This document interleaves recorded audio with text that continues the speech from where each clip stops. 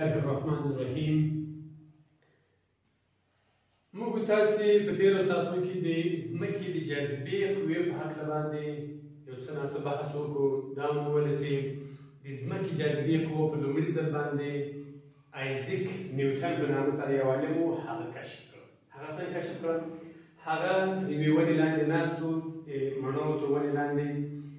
که ګوري مڼه مڼې چې د ونې چې مڼه راولې ده لاندې کله چې مڼه لاندې ولګېدله یا په ده لګېدلې یا لاندې لوېدلې دی سوچ کې سوچ دا مڼه یو طرف یا بل طرف یا یو طرف یا پورته ولې نه ولاړې دا لاندې راغله له ډېر فکر او سوچ او څېړنو څخه وروسته دا معلومه کړه چې دلته یو شی په ځمکه کې شته چې هغه ځان سره شی تک شوی دلته په ځمکه کې یو شی شته چې هغه ځان ته راکشوي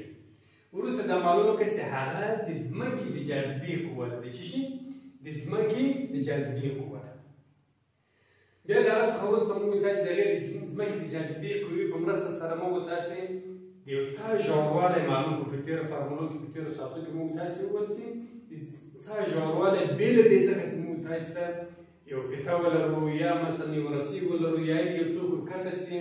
بې له دې څخه موږ تاسې فرمان په واسطه باندې هغه په اثبات باندې ورساوو او مثالونه مو هم باندې حل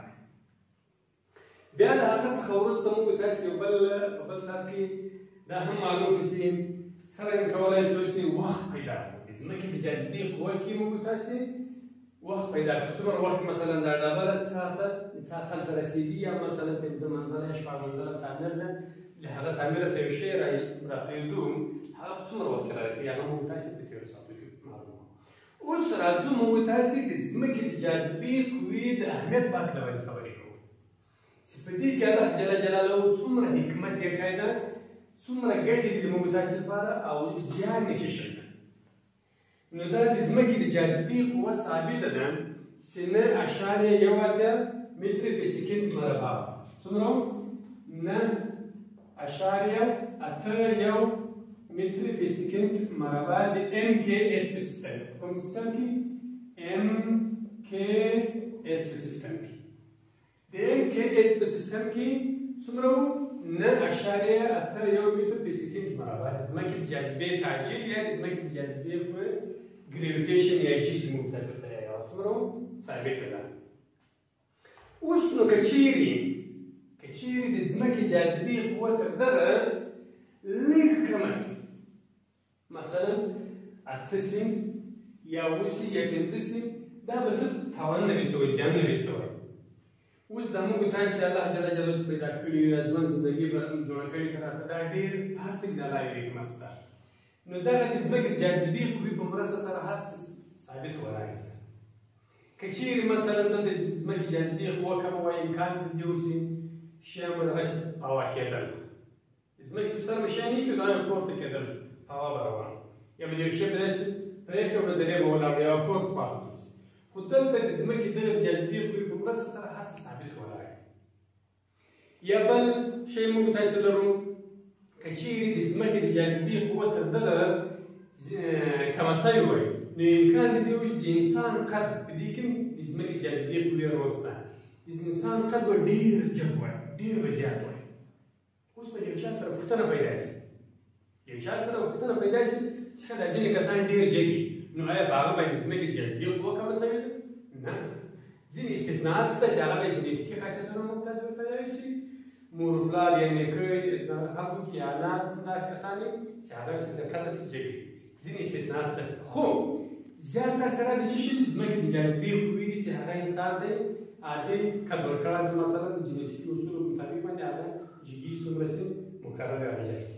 خو که چیرې مثلا د ځمکې جاذبې قوه تر دغه زیاته سي تر نه اشاریه اته یو چې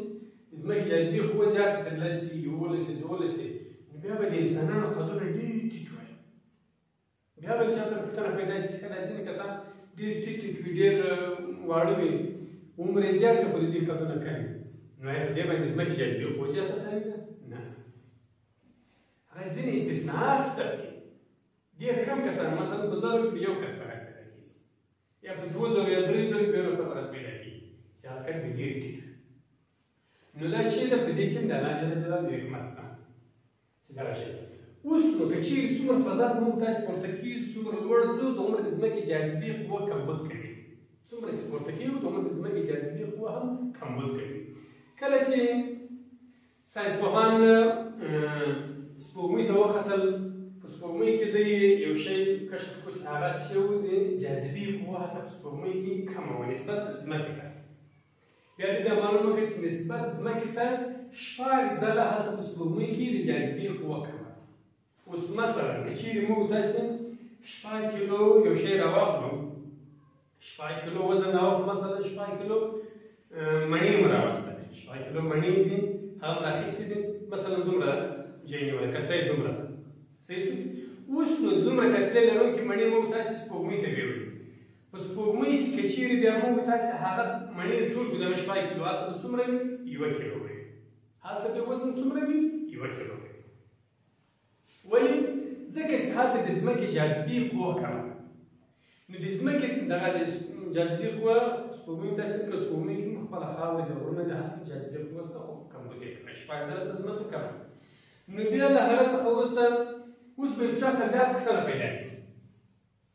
سیکان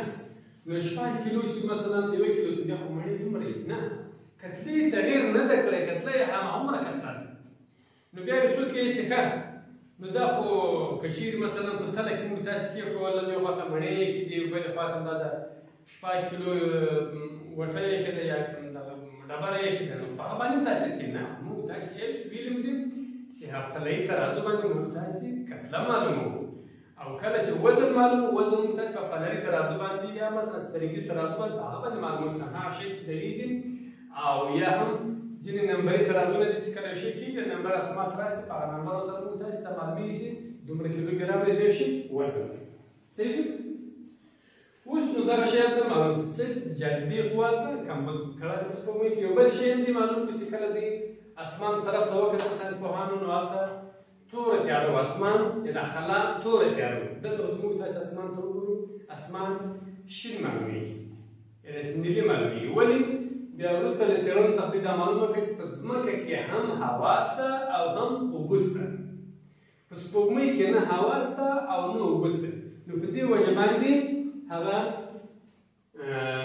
دا کوي اسمان تور معلومیږي نو هلته نه هوا سره اوبه سته ځکه خلا تور معلومیږي اسمان تور معلومیږي نو دلته د اوبو او د هوا یا اکسیجن د وجې نه موږ تاسو ته اسمان شین معلومیږي نو راځو موږ تاسو موضوع چې ونوځو د ځمکې د جاذبې قوې اهمیت په اړه موږ تاسو خبرې کولی شي په خلا کې کله جړې دی روانه کوي او ما ته دې خورا کوي یا خورا کې مالټه ته دې سپینه کړ دا ویډیو ګانې کې راځي ویل مالټه سپینه کې مالټه سپری دي دغه سره روانه یا پورت خواته وروي نو مالټه به دې سپینه کړ دا دړه دې پرې کړ اخر د خلور نږدې کړ په خپل باندې او خپل دا نو سم سره نه چې سره ولې دا چې په خپل معلومولو لپاره څومره جاذبې پروسته کنه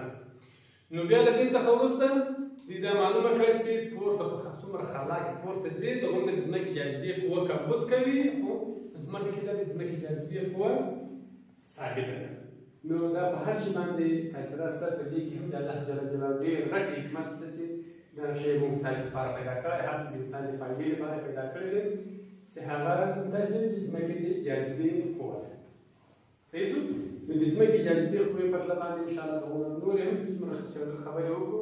خبرې ډېرې دي کې نو د اوس لپاره همدومره کفایت کوي نو همدارنګه یو بل شی یو شی بل شی هم درته ویایم بل شی بل مثال هم درته ویایم د دې اهمیت په تله باندې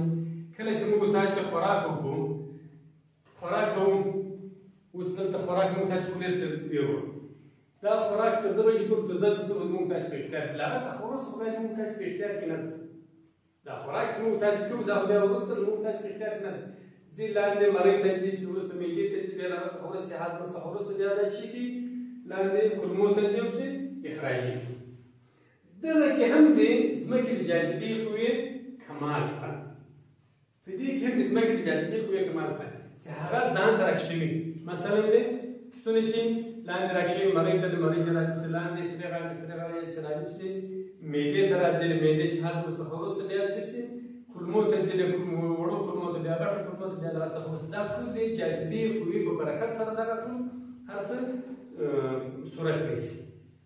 نو دغه هم په هر څه د څېړنو شیان ښودلي دي چې دا د ځمکې د جاذبې قوې په مرسته سره یا کومک سره موږ تاسې دا د ژوند عادي روان کړ که چیرې مثلا دا د ځمکې جاذبې قوه کمبود وکړي نو بیا هغه مشکلات سره موږ تاسې مخ کیږو ځینو پوهانو یا روغتیاپالانو دا معلومه کړې هم ده چې کله زلزله وشي چې کله زلزله وشي بیا د خلکو سر چکر کوي سره سره ګرځي یا یې خوا راګري استفراق یې کېږي په دغه حالت کې دا د ځمکې جاذبي قوه هم په ښورښ کې راشي کله جاذبي قوه په ښورښ کې راشي هلته د انسان داخلي سیستم هغه سره غیر منظم شي د جاذبې قوې څخه